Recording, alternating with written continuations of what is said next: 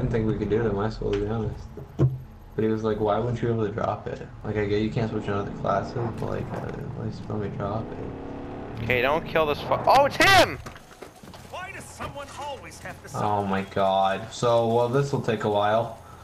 You know what we're gonna do? We're gonna hit him where it hurts. The poor animals that died here today paid the ultimate price for our liberty. They are heroes